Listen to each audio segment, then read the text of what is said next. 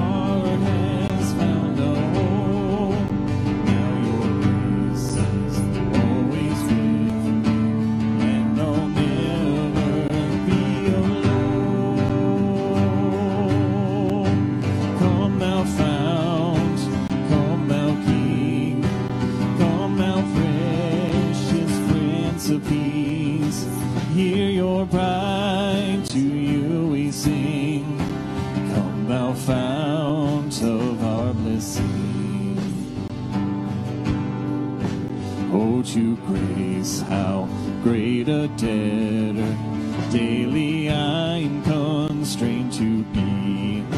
Let thy goodness, like a fetter, bind my wandering heart to thee.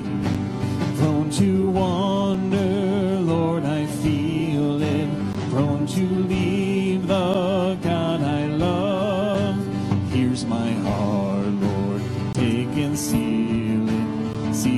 for thy courts above. Come thou fount, come thou King, come thou precious Prince of Peace. Hear your bride, to you we sing. Come thou fount of our blessing. Come thou fount, come thou King, come thou precious bride, to you we sing. Come thou fount of our blessing.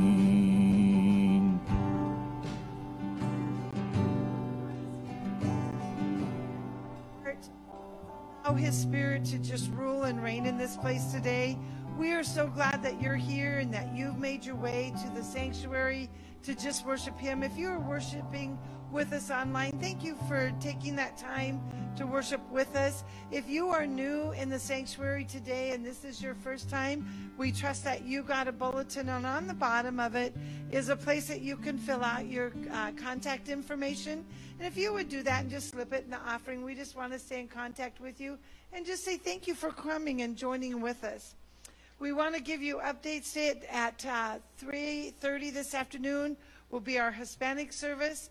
Tomorrow, we as a church body are serving the harvest table. That means there's lots of work to be done and a place to serve and reach out to people who just desperately needed a free meal. I am telling you, it is a night uh, of just blessing others. But if you are working that, uh, our servers need to be there at 2.30. And if you're coming at 5, that will help us serve the meal. So we need all the help that we can get. So join us for that. If you uh, signed up to bring food, make sure it's here uh, no later than tomorrow morning so that we can have everything ready for that. Also, Wednesday night, I want to challenge you if you've not been coming to Wednesday night to come.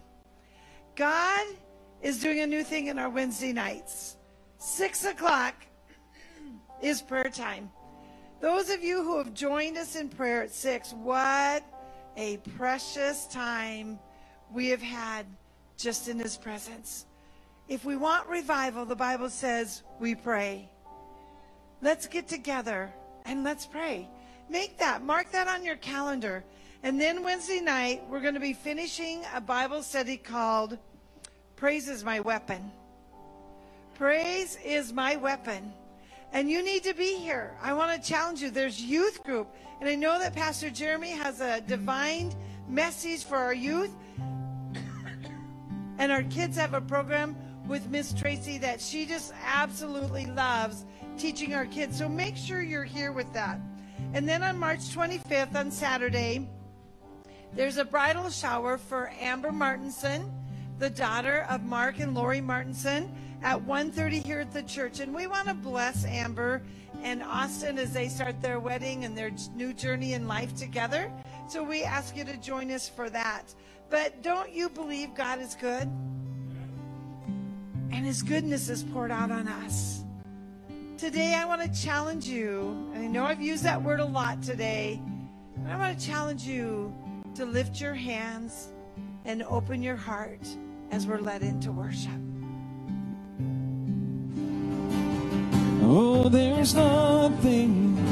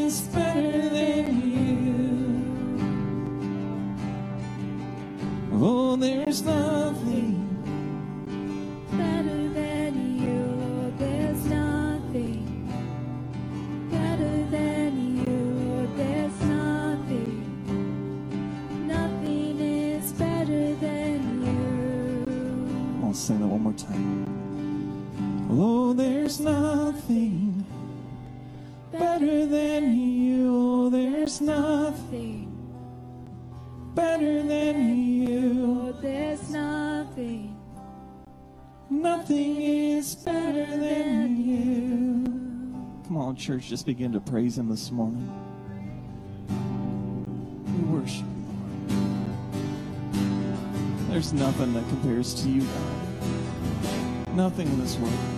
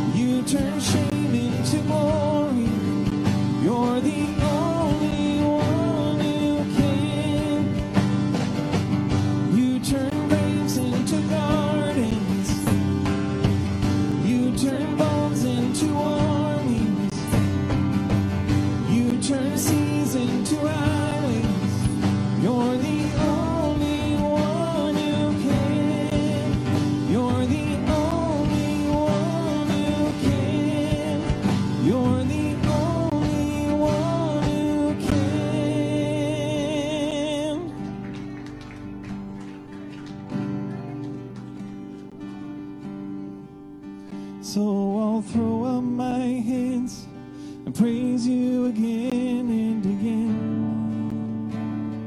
Cause all that I have.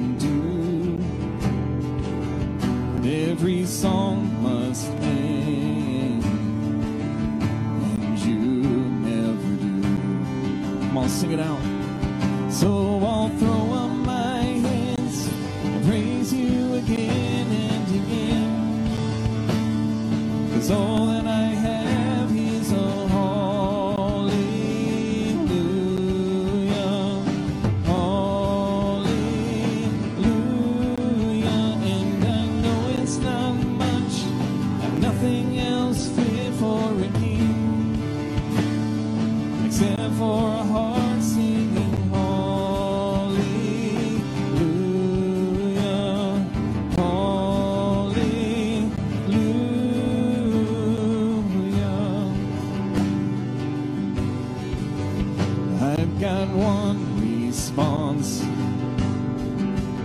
I've got just one move. With these arms stretched wide.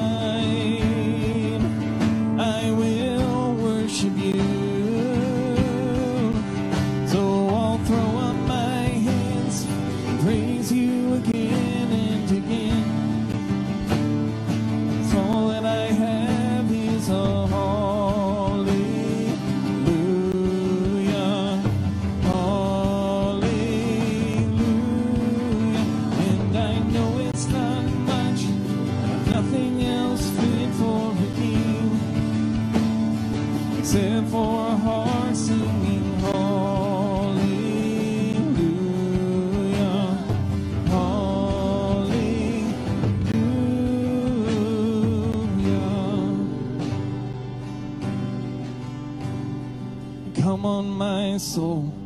Oh, don't you get shy on me, lift up your song.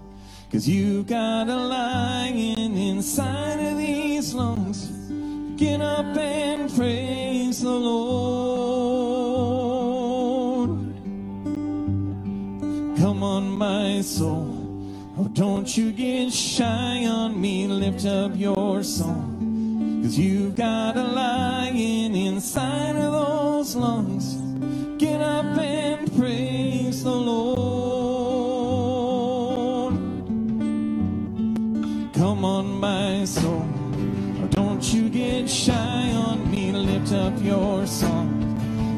cada lado.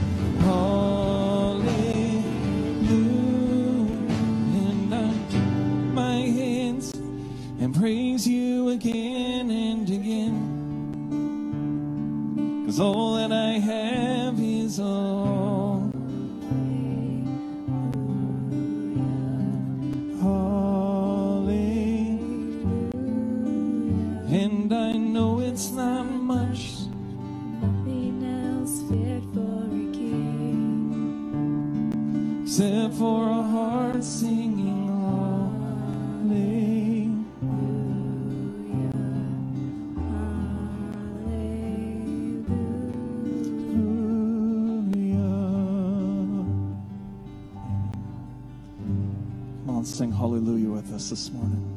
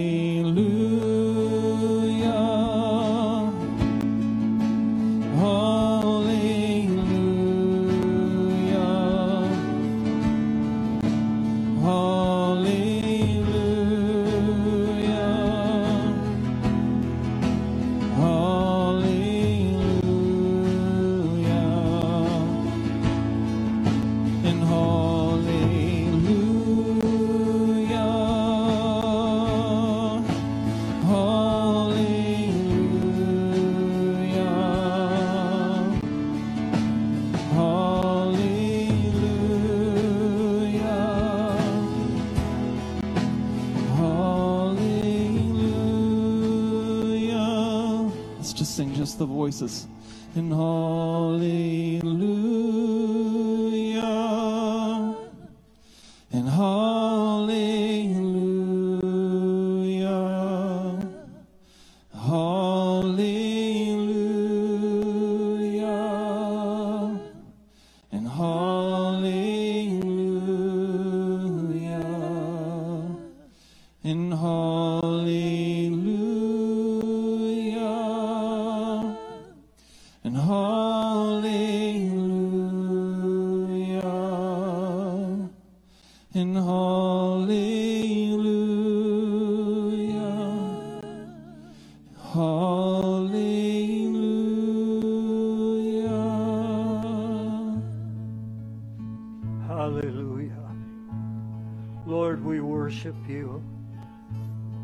Truly we sing hallelujah.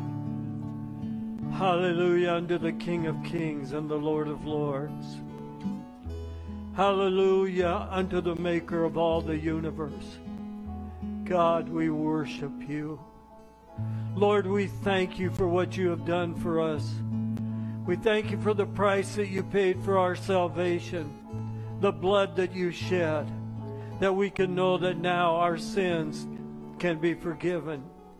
And so, Lord, today we don't have anything else that we could but say is hallelujah. Because you are a great God, and we worship you for who you are. Lord, as we come before your presence this morning, we come with requests. You said that we can let our requests be known unto God, and then your peace passes all understanding. Will keep our hearts and our minds in Christ Jesus. And Lord, I pray that you would be with the various needs that are represented within our body this morning. I ask that you would be with those that have needs that may be viewing online.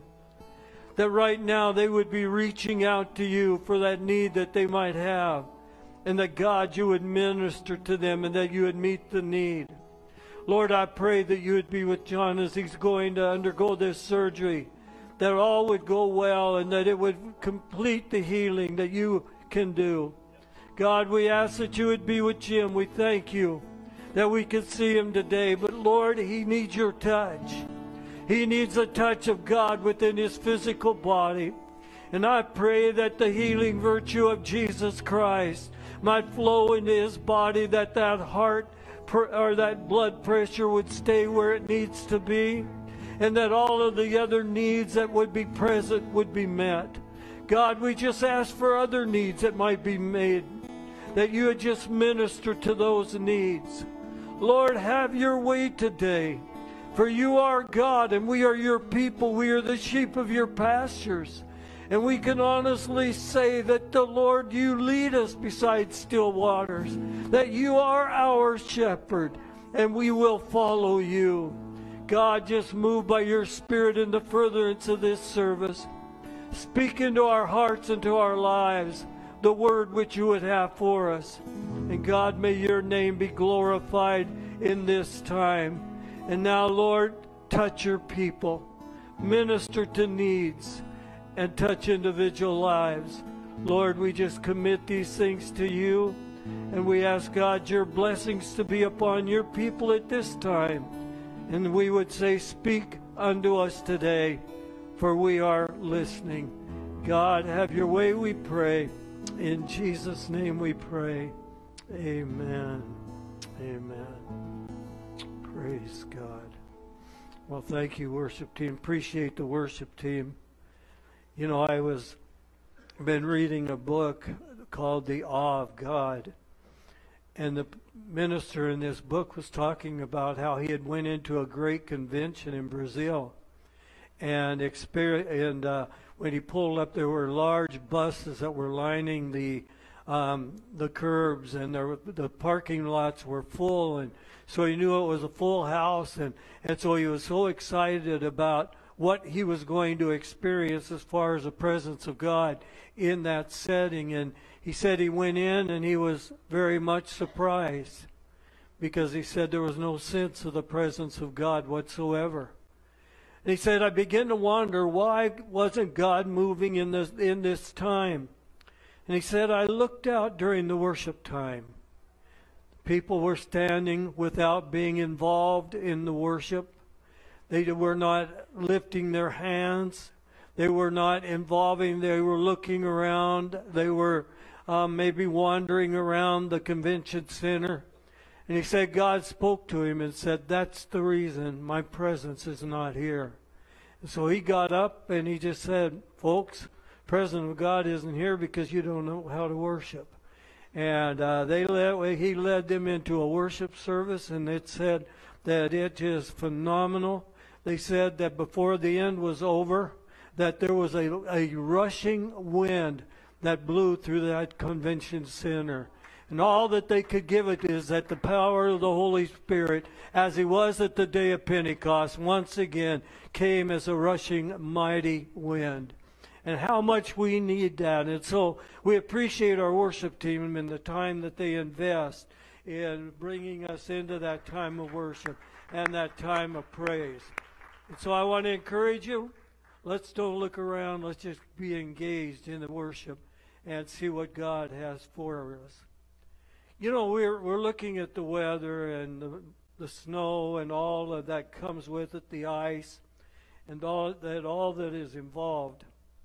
But I read an entry into a diary that I want to read this morning. August 12th.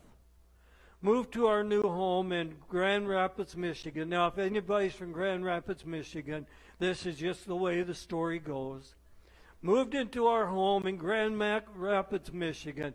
It is beautiful here. The lakes are so blue, I can hardly wait to see them covered. I love it here. October 14th. Michigan is the most beautiful place on earth. The leaves are turning all colors with shades of red and orange. Went for a ride through the country and saw some deer. They are so graceful. Certainly, they are the most wonderful animals on earth. This must be paradise. I love it here. November 11th, deer season is opened. I can't imagine anyone wanting to kill such a gorgeous creature. Hope it will snow soon. December 12th, it snowed last night. I woke up this morning to find everything blanketed in white. It looked like a postcard we went outside and cleaned the snow off the steps and shoveled the driveway. We had to wonder, wonderful snowball fight, and I won. And when the snowball came by, it, we had to shovel the driveway again. And we can all say an amen to that. What a beautiful place. I love Michigan. More snow last night. Couldn't get out of the driveway to get to work. I'm exhausted from shoveling. Rot, that dirty, rotten snowplow, December 22nd. More of that white stuff fell last night. My, my, I got blisters on my hands from shoveling. I think the snowplow hides around the corner and waits until I'm done shoveling the driveway. That dirty skunk. December 25th. Merry Christmas. More blooming snow. If I ever get my hands on that good for nothing jerk of a driver of that snowplow, I swear I'll kill him. I don't know why they don't use more salt on the roads to melt that treacherous ice. December 27th, More white junk fell last night. Been inside for three days now, except for shoveling out the driveway after the snowplow goes through every time. Can't go anywhere.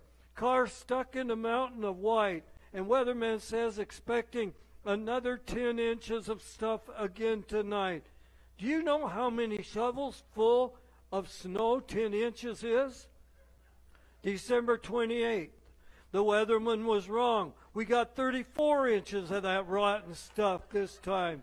At this rate, it won't melt before next summer.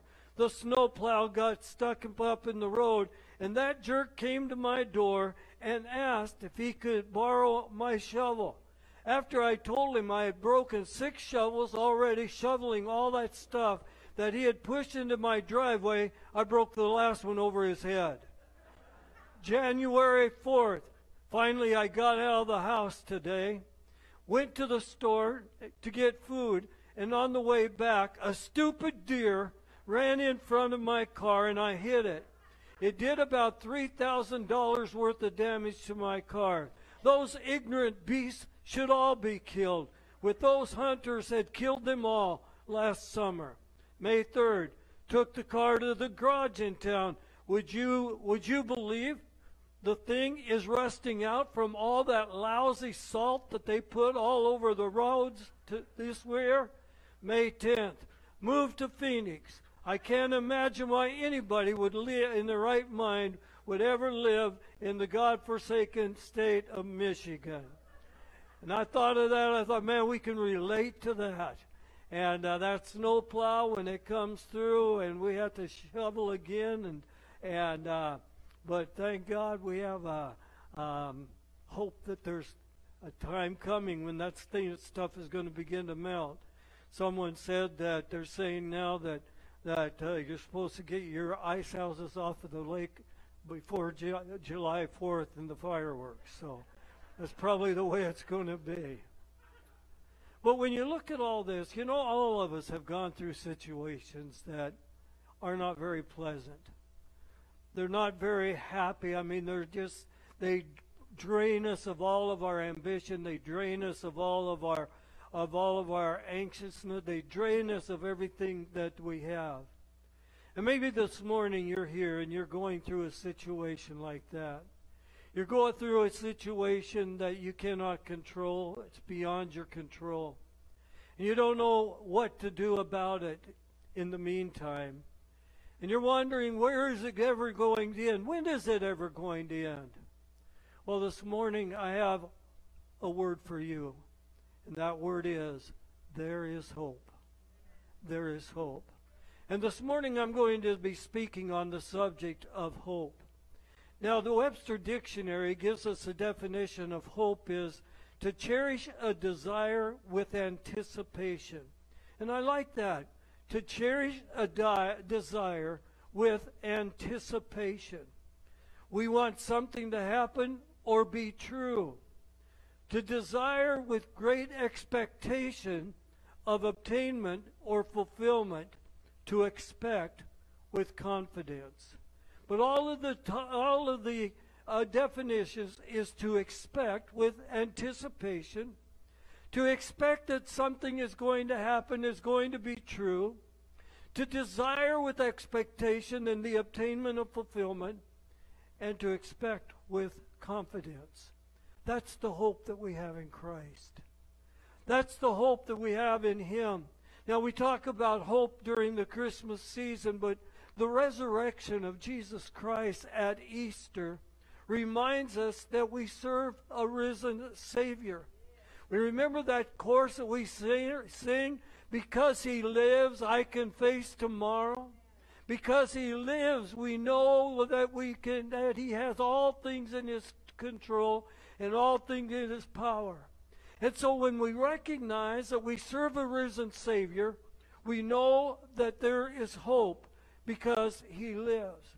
We can place our hope in his plans and in his purposes for our life. If Jesus were not alive, we would have no hope. If he had not risen from the grave on the third day, where would our hope be? Because our hope in reality in the Christian faith, our hope is a pillar of our faith. We have faith of things that are hoped for, and that's an evidence of things not seen. And so hope is very closely related to our faith. And if we say we have faith, then we have hope. Fulfillment is going to happen, it's going to be obtained, it's going to come to pass. And so we have to have hope in things in life. And all of us, no doubt, have hoped for something. I know that I have hoped when I take my car to the garage, my first hope is I sure hope it isn't going to cost much. I sure hope that I'm not going to be out a lot of money to get this thing repaired. That's my hope. Or when I go to the doctor, what do we hope? Well, I hope that all the tests come out good and I have a good report. And so we hope for these things with anticipation. We are expecting that to happen. within our lives. And we're waiting for it to come to pass. We have hope in the coming of our Lord Jesus Christ. The Bible says that the coming of Christ, the rapture of the church, is our blessed hope. It is our hope that is founded in his soon return. And maybe we are here, or you are here this morning, or you're watching online, and you feel that all hope is gone. But I want to assure you that you have an eternal hope that is found in Jesus Christ. And at times of trial and tribulation, that He will give us the hope that we have lost and will be um, rekindled within our lives once again. At this Easter season, we can hope in Jesus because of the resurrection. And the resurrection brings us the newness of hope because he is alive. Peter writes concerning this in his first epistle, 1 Peter chapter 1. We're going to be reading verses 3 through 9. 1 Peter chapter 1 verses 3 through 9. Now, everybody that brought your Bible, I'll give you a chance to find that. I've heard that uh, they bring you bring your Bibles, but you don't have time to find the text. So we'll give you time now. First Peter chapter one, reading for verses three through nine. Peter writes this: All praise to God, the Father of our Lord Jesus Christ.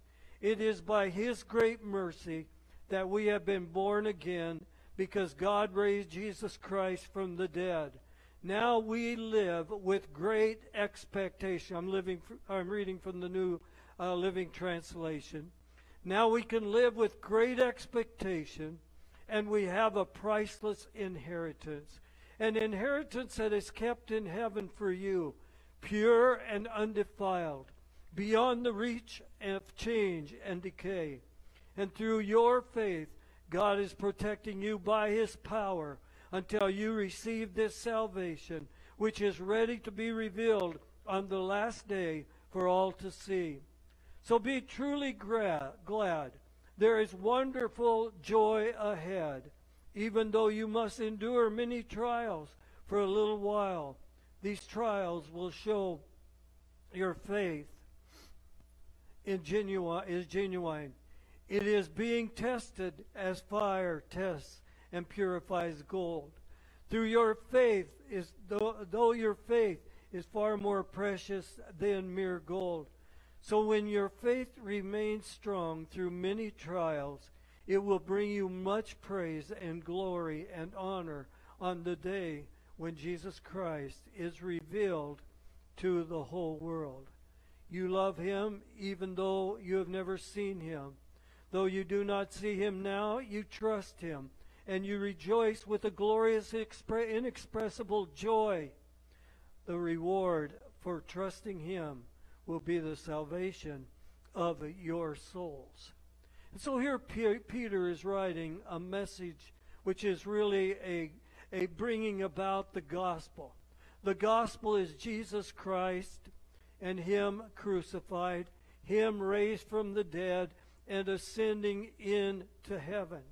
Now, when Peter is talking about this great hope that we have in the coming of Christ and all the joy that is going to be revealed at this time, he is giving us a joy that is going to motivate us to live for Christ and to be what God wants us to be.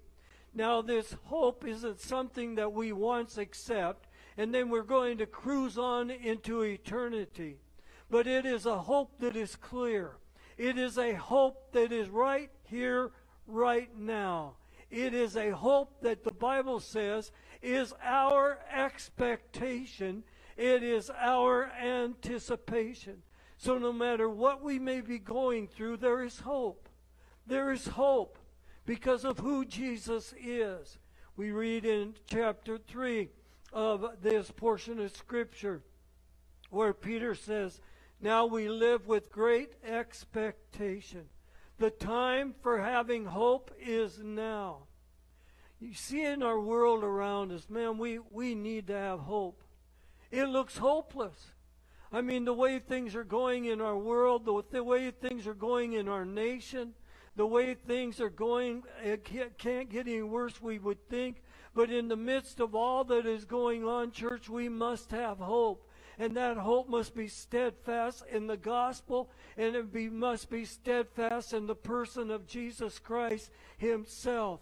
That we can have hope in the midst of all of the bad news that comes across by ways of media and what have you, that we can have hope no matter what the what the diagnosis of the physician was, that we can have hope no matter what the repair price is going to be, that I can know that my hope is found on nothing less than Jesus' blood and his righteousness. My hope is found in that way.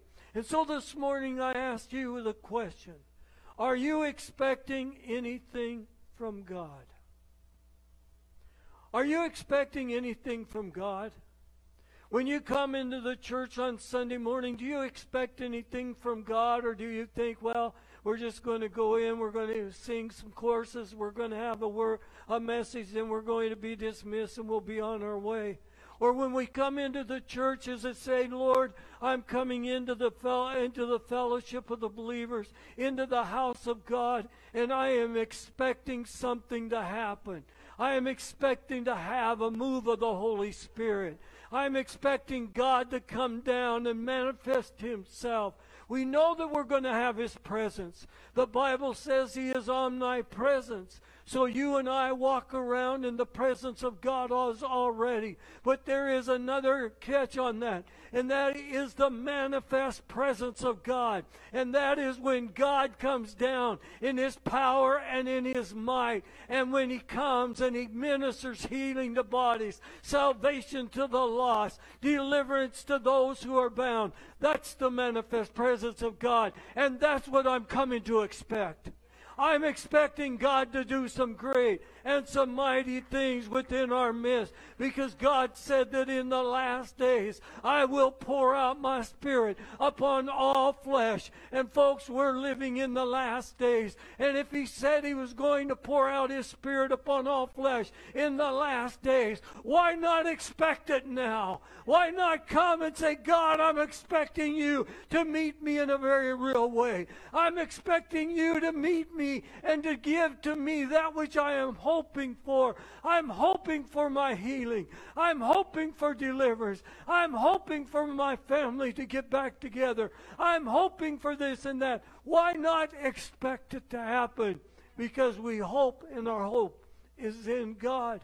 God wants us to live with expectation. He wants us to live with that. What do we want Him to do within our lives? What do you want God to do within your life? What do you want God to do in your family? What do you want God to do in our nation? What do you want God to do around us? What do we really want God to do? And when we say what I want God to do, do we hope that God will do it? Do we say that my faith is going to be that God is going to do it? Oh, I know I've fallen on hard times. I've known I come into the hardship and things have gone wrong and we wonder how far it can go. But there comes a time that we have to let our faith be made known and say, My hope is in God and in Him alone because He is the one who will minister to my heart and to my life. You see, Paul here was writing concerning the expectation of the return of Christ. This was promised in John chapter 14, verse 3. It's a portion of Scripture that we should all be familiar with. John chapter 14, verse 3. When everything is ready, I will come and get you, so that you will always be with me where I am. That's a promise. And folks, if Jesus made it that promise, he is not a God that should lie. If he said that I will come and get you, or I will come again and receive you unto myself, that where you are, where I am, there you may be also, he's given us a promise, it's going to be fulfilled. He's going to do it. We are still waiting for the return of Christ. We have people that say, well, I've been waiting for X number of years, so I don't believe it's ever going to happen. I believe it's going to happen. And the reason I believe it's going to happen because I find it written in the pages of God's Word. And Jesus said, I will come again and receive you. And so if Jesus said it, I believe it. And we're still waiting for that. Think if you were Peter. Peter said he was living in the last days and he thought that he was going to witness the return of Christ. Now, that was thousands of years ago. Now, if Peter was believing that, and if Peter was waiting for that, how much closer do you think we are to the coming of Christ than Peter was? How much closer are we to hear the trumpet of God sound and the voice of the archangel give the shout of triumph, and we are caught up together in the clouds in the air to meet the Lord in the air? And if Peter thought it, we must have that idea within our mind. Now, notice verse 6 of our text. So be truly glad. There is wonderful joy ahead. There is, e- even though you must endure many trials uh, for a little while, these trials will show that your faith is genuine. It is tested as fire tests and purifies gold. But Peter says, Be truly glad.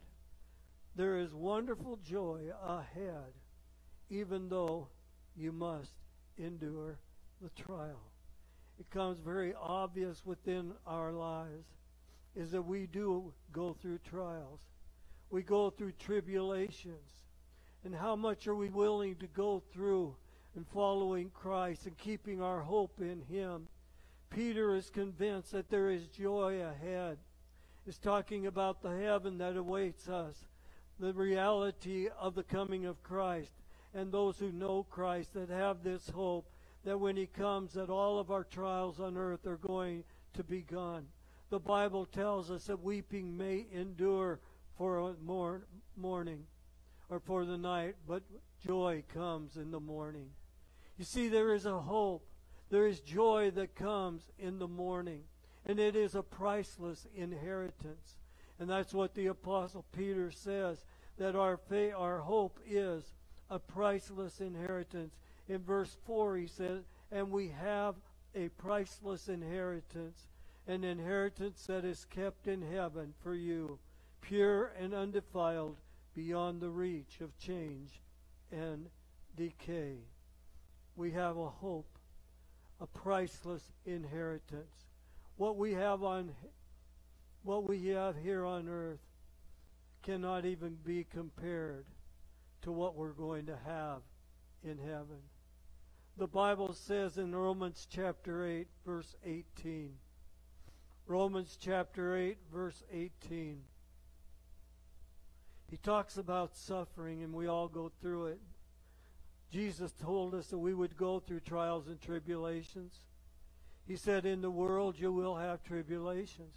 He didn't say you might or you maybe will. He said, In the world you will have tribulations. But he said, But be of good cheer. I have overcome the world. And then the uh, Paul writes in Romans chapter 8 verse 18, yet what we suffer now is nothing compared to the glory he will reveal to us later. That's our hope, church. What we suffer now is not even worthy to be compared to the glory that is going to be revealed to us later. And so all the things we may go through is worth the cost. That which we are moving forward to, that which we are looking toward, is far greater than what we currently experience. And so we get our focus upon the hope of Christ. He is our hope. The empty tomb is a hope into our lives.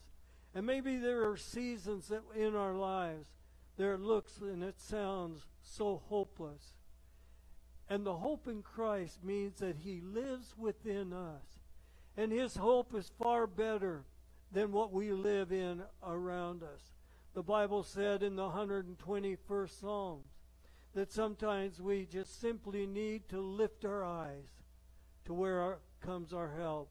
Psalm 121, beginning with verse 1 and reading verse 2. I look up to the mountains. Does my help come from there? My help comes from the Lord who made heaven and earth. I look up to the mountains or unto the hills, from whence doth my help? My help comes from the Lord who made heaven and earth. And that is our hope. Is that Jesus is alive. Remember at the ascension of Christ when all of the disciples were standing in awe as Jesus was going up into the clouds and, and coming and disappearing from their vision and they stood in awe before before that account and that scene. Remember what the angels said to them?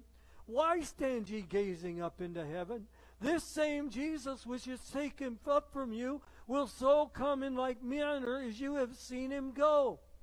That is our hope. And that empty tomb of the resurrection is the hope that we have that Jesus Christ is coming soon.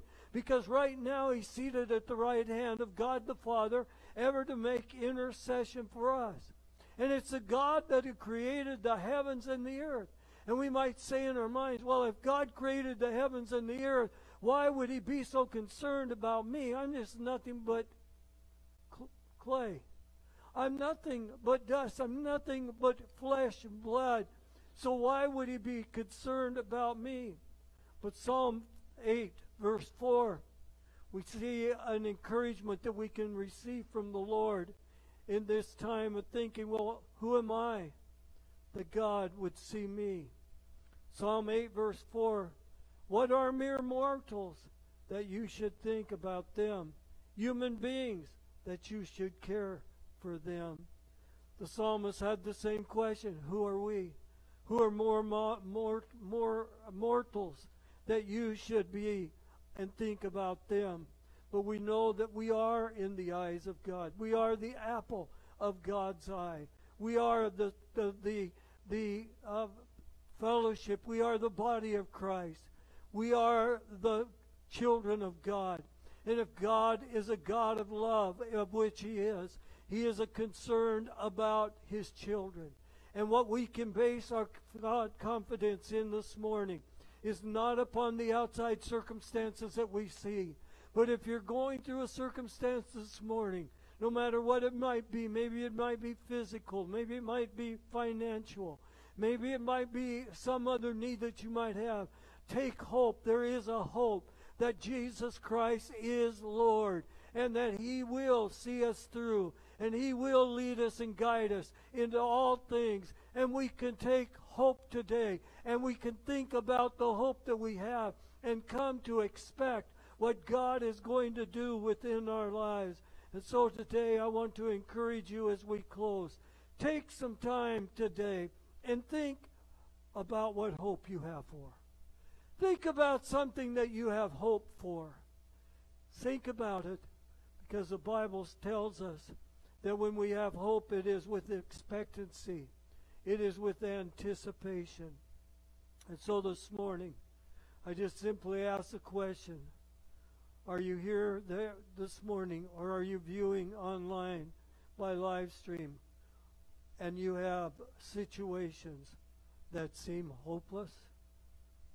I want to remind you of something. There is a hope.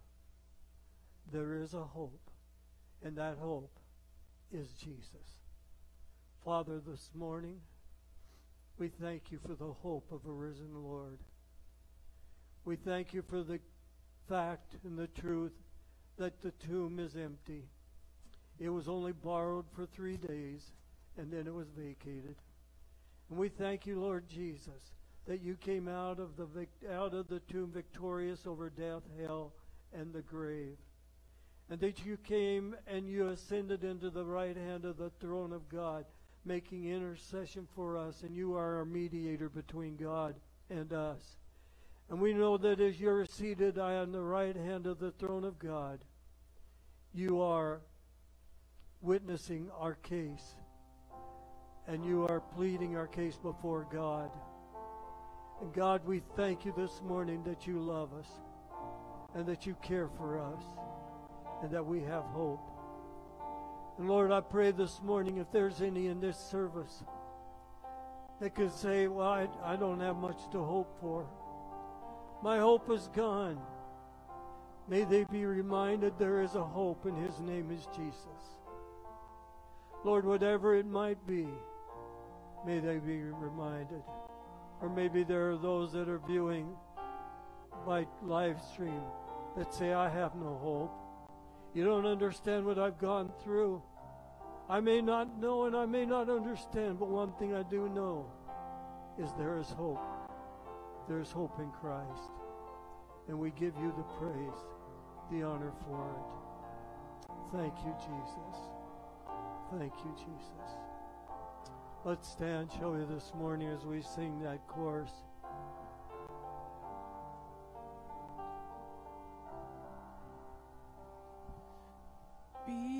Because he lives, I can face tomorrow.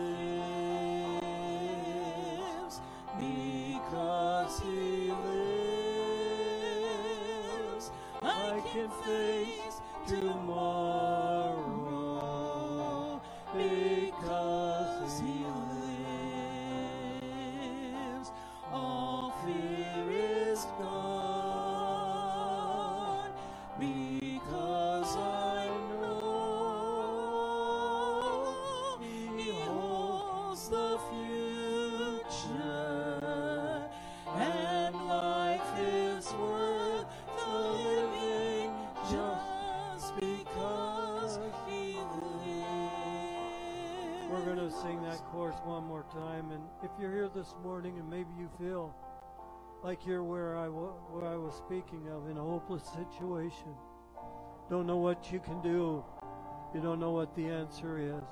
And you'd like special prayer, we want to encourage you just come and to the front. There'll be those of others that will gather around you. They'll pray for you, pray for strength. That's what the body of Christ is all about. That's what body ministry is. We minister to one another, and the Bible says, Bear ye one another's burdens. So we're going to sing it one more time. And as we sing it, if you're here and you have a special need and would like special prayer, we want to invite you to come. Because he lives, I can face tomorrow. Because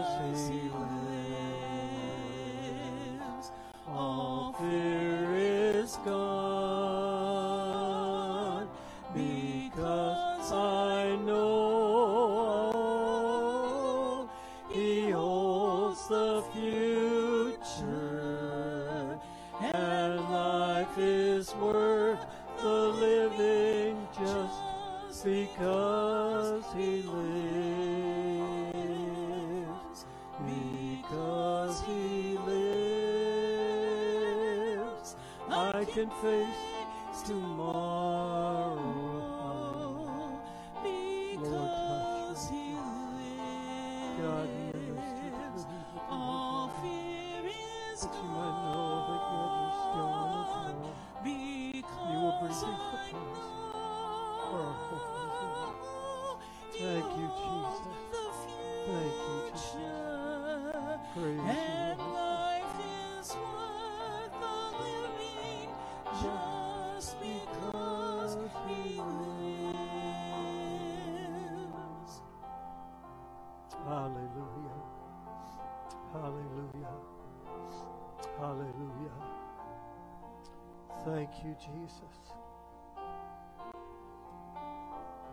Thank you, Lord. Praise God. Praise God. Lord, this morning as we dismiss this service, may we leave this place with hope that we can come to expect it, that we can come to anticipate it, that we can come with the, with the idea of knowing it will come to pass. Because if you have spoken it in your word, it will be found. God, I pray that you'd bless each one this morning. Bless those who are viewing online this morning, that your touch would be upon their lives, and that they would sense the touch of God within their physical being, within their finances, within their needs that they might have. God bless them. And I pray for your people in the church this morning that you would just lay your blessings upon each one of us. God, may your hand be upon us today, that we would just feel your presence, and that, Lord, we would come to expect it. That when it happens, we would say, But I can't believe it. But rather, we would say, This is what I expect. God, meet our expectations for you to manifest yourself in a very powerful way. And now, Lord, may your blessings be upon your people. Lead us and guide us. Keep us mindful of you in all ways, we pray. In Jesus' name, amen. God bless you. Thank you so much for being here. Remember, the offering will be received in the back for you to drop in, or you can receive online or by the Tithely app or by our website. God bless you. We appreciate each one of you. We love you. And go with that hope that God is with you.